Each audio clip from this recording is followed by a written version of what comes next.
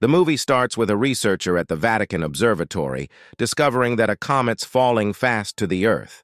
The priest realizes the doom this represents and immediately summons the rest of the council to announce the findings from his recent studies on Revelation, chapter 8 of the Bible, to the Pope.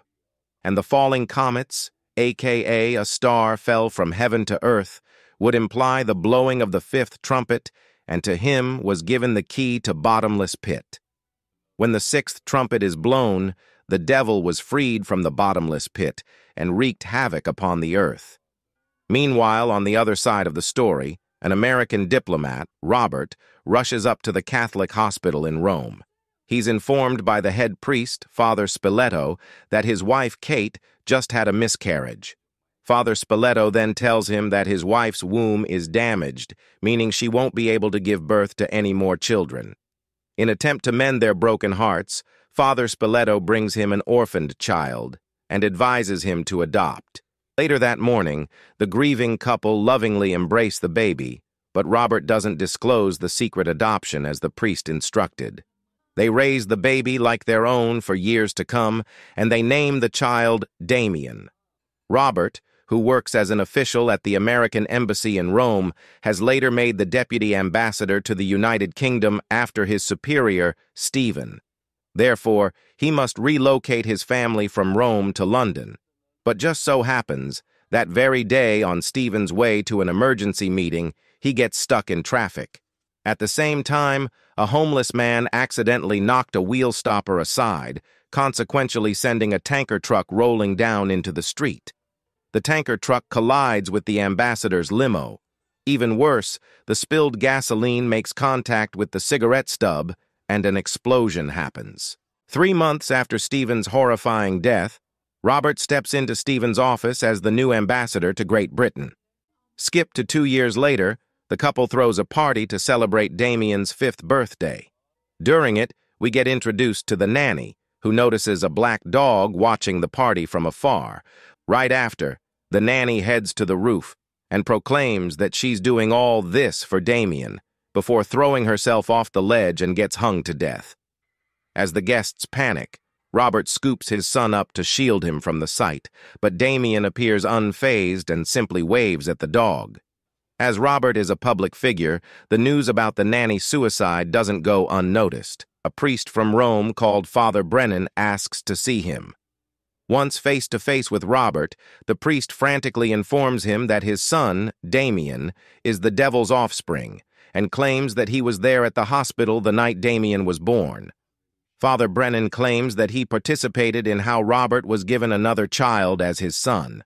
Brennan also saw Damien's mother, whom he claimed wasn't human, but instead a jackal. Because all this sounds insane, Robert has the man escorted out of the facility immediately, and it turns out Keith the photographer happens to be there as well, taking pictures of the priest. When Robert returns home, he accompanies his wife in interviewing a new nanny named Mrs. Baylock. The couple finds her impressive and hires her immediately. Meanwhile, on the other side of the city, Keith the photographer decides to print the pictures he took today and saw a strange line stretching above Father Brennan's head. On the next day, Kate is all dressed up to attend the previous nanny's funeral and asks for Mrs. Baylock to fetch Damien. The nanny, however, claims that Damien is feeling under the weather and therefore is not fit to go out. Kate doesn't believe this and makes Damien go to church with them, seeing the symbols of Christ on church towers. They begin to haunt Damien on the way, and upon arrival, he suddenly goes feral and starts attacking his mom, injuring Kate as a result. This forces the family to drive away from the church as to not to cause a scene in front of the reporters. They return home immediately, and Robert spends the evening dressing up the cut on Kate's forehead. That night, Kate has a nightmare about lying in the bathtub with her wrist slit, and Damien menacingly standing right across from her. On the other side of the house, Robert walks into Damien's room to find a dog growling at him. Mrs. Baylock then steps in and orders it to stop. Apparently, she and Damien found the dog roaming around the premises Hearing this aggravates Robert, who orders Mrs. Baylock to get rid of the dog immediately. The following day, Kate accompanies Damien on a field trip to the zoo, and here we see that the monkeys are acting hostile toward the child. Like a creep, Damien stares at the monkeys and cockily murmur that the monkeys are afraid of him. When his mother tries to carry him away, all of the sudden, one of the gorillas charges at the enclosure glass, as if eager to attack the child. The mortified Kate breaks down when she recounts the story to her husband that night, and although she feels bad for saying this, she is convinced there is something off about Damien. Later that night, Robert is attending a church function right when Father Brennan approaches him. The priest quickly mentions a time and place to meet up, claiming that Robert's wife is in danger. Plus, he says that would be the last time Robert would be seeing him. As the priest walks out of the building, Keith the photographer snaps more pictures of him. Once Keith gets home, he appears to be studying something fascinating in the latest pictures he took.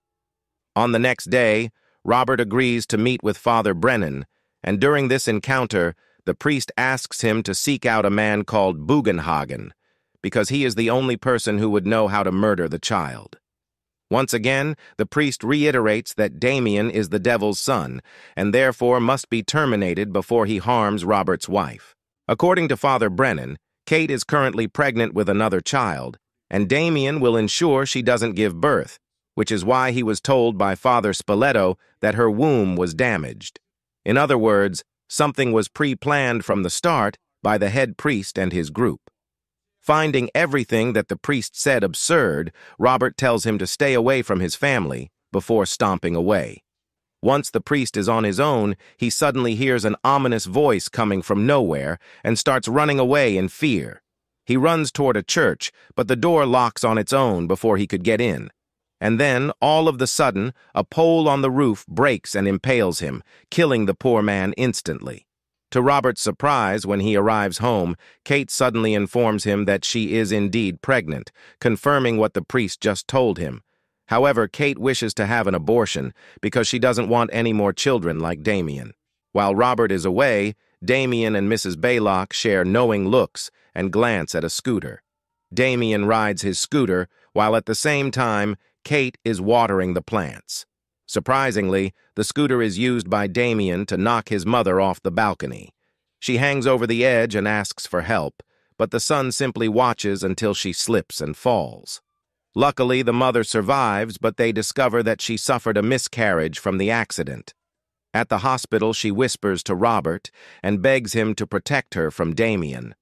When Robert gets home right after, he discovers that the dog he wanted to kick out is still in the house.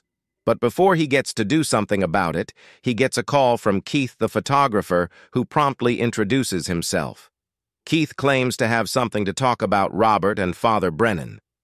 Curious, Robert pays a visit to Keith's studio, where we see streaks of white light around pictures Keith took of the dead nanny and Father Brennan.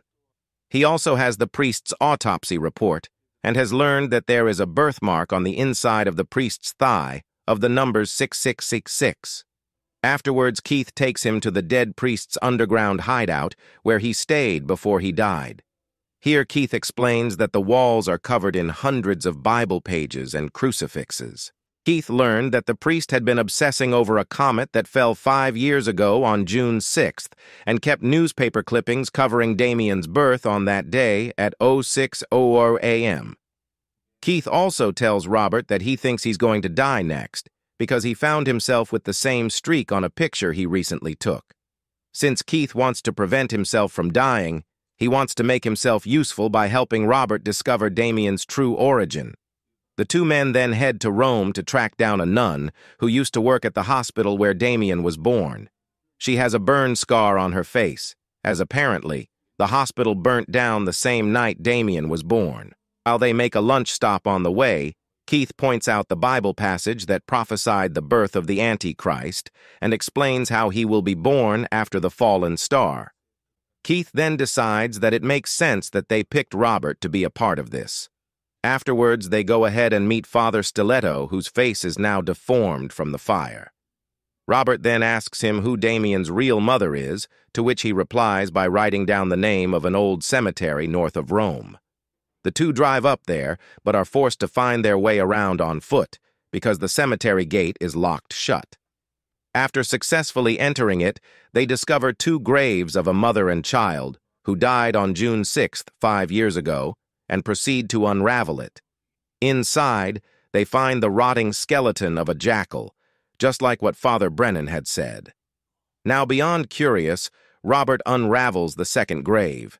Inside, he discovers the skeleton of his biological son with a hole in its skull, signifying that his wife didn't have a miscarriage, but rather the baby was murdered upon its birth. And then, all of the sudden, two dogs jump out of nowhere and lunge at them. They fight it off and proceed to climb over the fence before running away after sustaining a few injuries. Meanwhile, back in London, Damien and Mrs. Baylock decide to pay a visit to the hospital. The nurse initially refuses to let her in, but Mrs. Baylock begs to see Kate for just a few minutes. This is really reckless on the hospital's part because the nanny proceeds to inject a fluid into Kate's intravenous line. She covers Kate's mouth when she tries to scream in protest. As a result, Kate's heart rate begins to spike as the fluid enters her system, and the nanny holds her down until the poor woman dies. The nanny then calmly walks away with Damien. Sometime later, Robert receives a devastating phone call informing him of his wife's death. And so, they head for Israel to find Bugenhagen, the man Father Brennan claimed to be the only one who knows how to stop Damien. Bugenhagen goes on and tells them the ritual on how to kill Damien, which involves a set of special knives. He sneaks into his own home and quietly arms himself with a pair of scissors.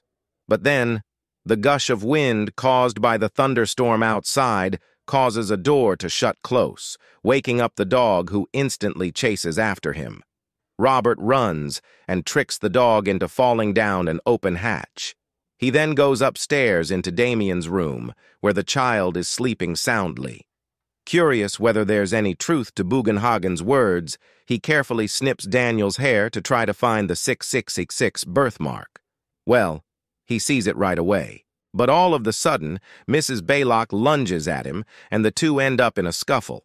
Robert manages to knock her out and pick up Damien immediately. Without wasting any more time, he carries Damien away and pile inside the car, when suddenly the nanny smashes a hammer against the windshield. She blocks the road, but can't block the car. Robert's police guards trails after the car as it is speeding like crazy. But Robert doesn't care anymore.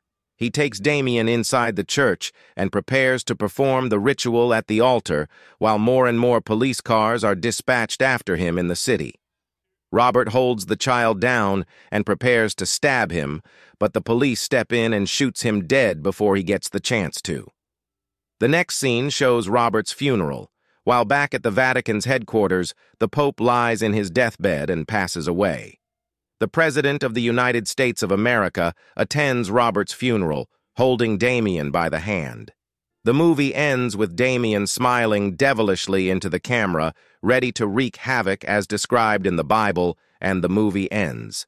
So that it is for this video, subscribe for more content, and I will see you guys in the next video. Till then, goodbye.